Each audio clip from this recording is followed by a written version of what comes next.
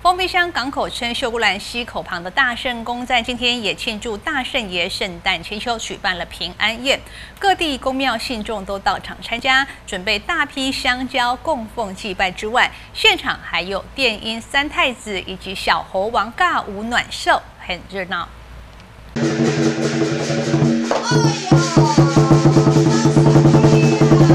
讨喜逗趣的锣鼓醒狮表演，为大圣宫主神齐天大圣爷祝寿。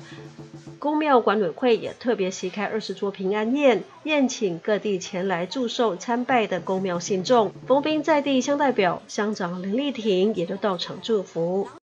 年年风调雨顺，大家身体健康，平安喜乐。坐落在秀姑峦溪出海口北岸的大圣宫，主要侍奉的齐天大圣爷神像已有百年历史。今天新逢大圣爷圣诞千秋，除了平安宴，现场也有电音三太子与小猴王尬舞暖寿，炒热现场气氛，表演精彩，现场信众看得目不转睛。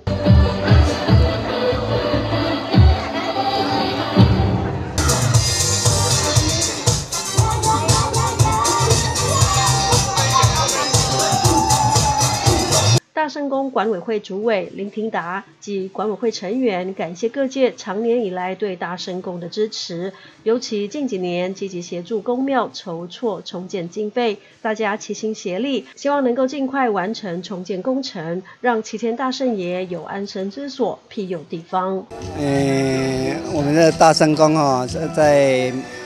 嗯，说光绪二年的时候，有大陆来的移民啊，啊，从大陆带来的时候，啊，从秀姑兰溪口登陆，刚好有一个岩石，